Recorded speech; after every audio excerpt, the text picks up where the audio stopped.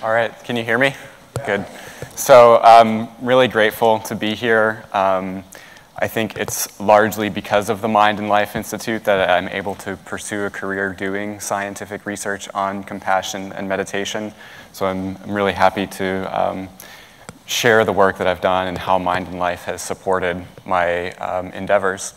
So what I'd like to do is tell you a little bit about how I got started, how I got interested in this work, some of the work that I did um, which was supported by Mind and Life Institute, and then tell you about where I want to go next with this work. So my entry into this field began uh, when I was an undergraduate in a psychology class several years ago, and I had a particularly unique experience that had a profound impact on me. It was the first day of the class in the first day of the semester, and the professor, Dr. Kent Hoffman, did something that I'll never forget. He asked every student in the class to write on a three by five note card the little voice in our head that we hear throughout the day that we wish that we didn't have to listen to. So this was um, odd and it, it piqued my curiosity. And I sat in the room and I looked at everybody around me and they, were, they seemed so put together. Everyone was very attractive, very attractive people. So I was wondering what's going to happen next and it was an intimidating experience for me. So we wrote down on our cards, and uh, the professor collected them, and then he read them aloud anonymously to the whole classroom. And just thinking about it now, um, it's heartbreaking. It almost brings me to tears just thinking about what happened next. The voices said things like, You are not worthy to be loved. You'll never be good enough. You'll never amount to anything. It's only going to get worse. And instantly in that moment, my mind shifted from seeing myself and the other students as separate. And immediately I realized that we shared a common but invisible thread of self criticism, doubt, shame, fear, and worry. And this led um, an impact, it had had a profound impact on my awareness of the human condition. And we all share universal experiences of suffering and difficult emotions. And we all have universal cravings to be loved, to be in relationship with others, and to have social connections. And so this raised a question for me what, where is this coming from? Why are we all heartbroken, so to speak, and what can we do about this? Part of the answer in the class came from a set of ideas in psychology called attachment theory. And attachment theory looks at how our early experiences as infants with caregivers shape the foundation for all future relationships and human interactions. And the basic insight of attachment theory is this. As babies and as child, we have an instinctive urge to form bonds with our caregivers. And this especially manifests in times of stress and difficult emotion. Babies seek out that comfort and, and reassurance from their caregiver. And when things go well, when the caregiver is responsive and attends to the needs of the baby, the caregiver is communicating non-verbally. I am here for you. You are worthy of my attention. We all have difficult emotions, but we can navigate these experiences together. And as this is repeated over time, a child develops trust that there's caregivers there to be supportive and provide some secure base for the child to navigate the world. But unfortunately, caregiving doesn't always unfold in this way, and even the most empathic parents, the most empathic person, can sometimes have lapses. We all have stressful experiences, and occasionally we may not be immediately responsive to the needs of our offspring.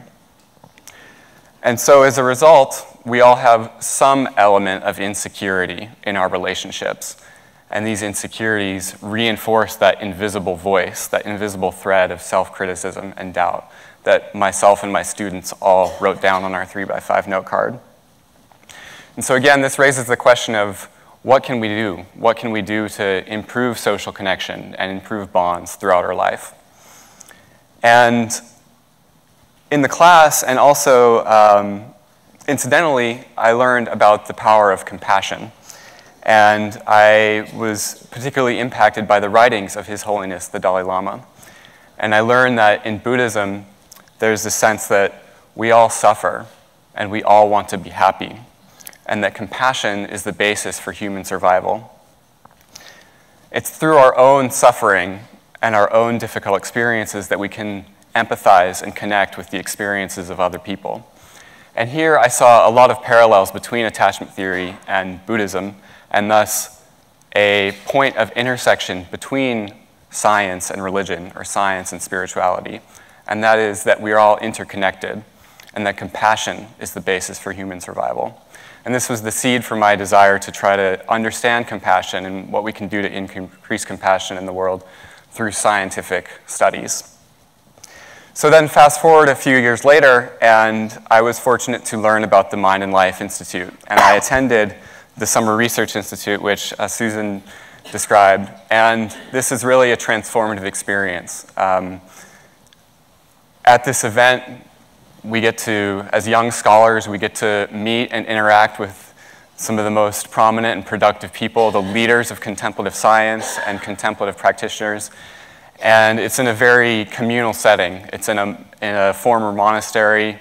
It's not just scientific and scholarly debate, but we actually get to meditate together, eat meals together, and it really builds a family of people who share values and interests. And I learned about research looking at the effects of meditation on the brain and the rigorous designs and questions and procedures that are needed to really understand the impact of meditation.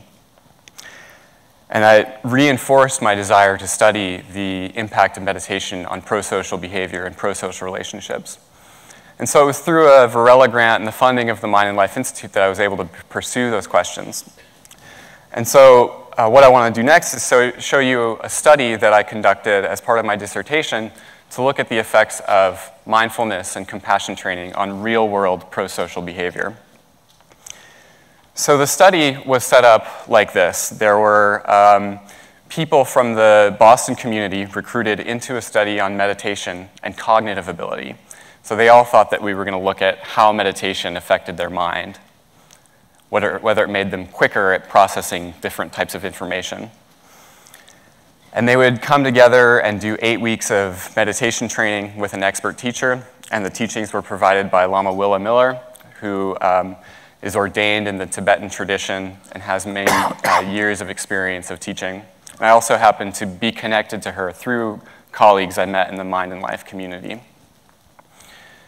So half of our participants did eight weeks of meditation training, and then half um, just carried on in their life as usual. They didn't receive any training. And afterward, after the eight weeks, they came back to the lab, and they thought that they were going to be doing tests of cognitive ability. But that wasn't the true observation that I was interested in. What I really wanted to look at was whether or not the meditation changed their levels of pro-social behavior in a real interaction with another person. So to do this, I had to create kind of a stage play. And I hired some of my undergraduate research assistants to help me put together a little orchestrated scenario. So here's what it looked like. Um, this is the hallway where our lab is, and there is a waiting area for people to wait for their sessions to start. And this is a communal area, so it's out in the public. And there's this nice bench with three seats, and two of the people in those seats are actually actresses. They were placed there. Um, they're sitting on their phones. They're just minding their own business. They're not interacting with anybody. And then the one true participant, in this case, it's the student with the teal sweater, she showed up and took the last remaining seat and sat there and waited for her experiment to start. Then, a minute or two later, a third actress came from around the corner using a pair of crutches and a walking boot. She hobbled toward the waiting area. She sighed in discomfort and pain, leaned against the wall. she pulled out her phone to check the time as if she was waiting for her own lab session to start, and then she just settled in. Uh, one of the Confederates sitting started a timer, and we checked to see whether or not the true participant would give up her seat for the person on crutches. And this was our, this was our measurement that we were looking at. And um, this might seem like a really simple gesture, but in fact, this is a very well-known paradigm in social psychology that's been observed in many different contexts called the bystander effect. So when there's other people present who do not act to help, our own levels of helping behavior decrease dramatically. We depend on other people to cue us as to what the appropriate behavior is in some circumstances. So in this case, it would discourage people from actually giving up their seat. And that is what we see. So generally, we find that most people in this scenario do not give up their seat. And here's some results. So among the people in the non-meditation condition, three out of 19 people gave up their seat. Only 15%. I was shocked by how low this value was. But encouragingly, of those who received meditation training, 50% gave up their seat, so 10 out of 20. So that's three times the amount of people that engaged in this pro-social action. And I was particularly excited by this finding. My colleagues and I were really happy, and it suggests that meditation increases our willingness to spontaneously come to the aid of a suffering individual, even when there are social pressures that are acting against that motivation to behave pro-socially. So since this work, we've done a number of studies to try to further explore um, extensions of this work. We've looked at whether or not training delivered through a smartphone app, whether people can train mindfulness on their own without the use of a social group and a, a live teacher just using instruction on an app. Does it produce a similar effect? And indeed, it does. Just two weeks of mindfulness training through an app can show the same result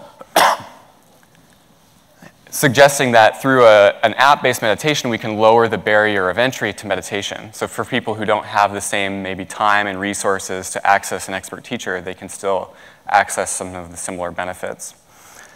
I've started to look at whether meditation can be used to um, act as a buffer against the experience of anger and promote resilience to interpersonal conflict, and we're starting to see some evidence that it does in fact work that way. Now, in my ongoing work, um, I'll just mention briefly, I'm starting to look at the experiences of mindfulness and compassion in romantic partners, in a real relationship in everyday life. So, not just looking at compassion in acute context, in a one off situation with strangers in a laboratory, but what does compassion look like in everyday life, in a real relationship? And how, does, how do couples interact with each other, and how are they connected? And how does this um, improve with mindfulness? And finally, as um, Susan mentioned, together with a number of colleagues in the Mind and Life community, we want to bring together people from a variety of different perspectives, from Buddhist studies, Christian studies, different fields of science, to really look at what are the big questions in the science of compassion and what work do we have left to do. And here is where we're at. First, what is compassion? Is it merely a simple emotional state? Or is it a motivational stance in which we experience ourselves embedded in an array of social relationships connected to others? How can we train people to experience and, and enact compassion? What are the varieties of different techniques to increase compassion? And what can we do to make these training programs more accessible to people from a variety of different populations? And then finally, how can we assess compassion training? So I showed you this one uh, method to try to get at pro-social behavior, but what can we do to understand the varieties of types of compassionate actions and compassionate intentions and what it's like to be in, in the presence of somebody who is truly acting out of compassion? And again, I'd like to just thank the Mind and Life Institute. They're really a major player in promoting this work and um, a major inspiration for me personally. Thank you. Thank you.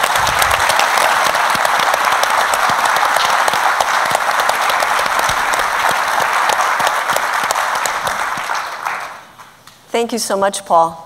Really, really great. Love to um, just open it up to the panel to ask Paul any questions or share any reflections you may have. So anybody? Paul, I have, a, I have a question. Why do you think there is this connection between med meditation and compassion? I mean, a priori, one does not necessarily need to posit this being such a connection. So mechanistically, what do you think is going on? Um, there's two things, two possibilities. So I think with compassion training, it involves explicitly focusing on similarities of emotional experiences. So um, the story I told about the beginning and um, sort of being exposed to the inner voices of the other people in my class and how that sort of shapes a sense of commonality in our emotional experiences and interdependence. The compassion training techniques um, explicitly use that kind of reasoning. So, using our own difficult emotions as a doorway to connect with the difficult emotions of other people. And in a sense, this makes our own negative experiences and emotions less personal. There's less ownership over it, and it's an understanding that it's, this is kind of the human condition, and that creates some space for empathy and compassion. Um, the second possibility through mindfulness based practices of focusing attention on a particular object and creating a kind of equanimity around our emotional experiences. So, not trying to pursue positive experiences or avoid negative experiences, again, creates more room for awareness of difficult emotions and more space and energy for empathic processes. So I think there's these two distinct pathways that the different kinds of meditation promote. And this is something we need to continue to explore as a field. Great. Thank you. Anybody else have a quick question or comment? Maybe, um, I mean, one of the, uh, Susan brought up this point about the fact that, you know, compassion is not an easy task to do. You know, compassion almost necessarily involves taking on some element of distress of the other person. So, and often uh, in difficult relationships, we, you know, I mean, human beings are naturally averse to negative experiences. So probably a lot of people resist compassion because they don't want to go to them in that. So, I mean, what would be, I mean, is there a, possibly, probably the question I'm asking is, is there a route to compassion that wouldn't involve going through this difficult route of empathy? Mm-hmm. or is that an open question that? It's an American thought. It's an American thought? I, I, wonder if um, the practice of mindfulness um, allows you to uh, loosen the attachment to your identification of self in mm-hmm. a way yeah. that might allow for an openness to the needs of others. And whether or not that has to be painful, I, I don't know. I think it's an empirical question, but maybe it does sometimes and maybe not other times, depending on how much practice you have. Or I'm just thinking that I know, that I think that experience you described is this understanding that, mm-hmm. that this is a human condition and it's not just me as an individual. Uh, yeah, and I think my hypothesis is, is that mindfulness practices and compassion practices both promote that sort of awareness and ability to hold negative emotions in awareness in a way that isn't distressing. Mm-hmm. Um, so potentially creating some space where there's not necessarily an empathic distress around other people's negative emotions, but a, just a different way of being aware and relating to it. But again, that's that's going to be, a, I think, a lifetime of research to really dive into the details of that question. I do think, Thank though, you. that there's something there about emotion regulation that is playing some key role that mm-hmm. underlines a lot of what we're seeing some in there. Yeah. yeah. Thank you.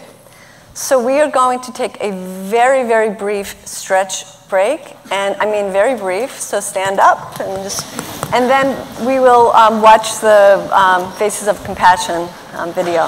So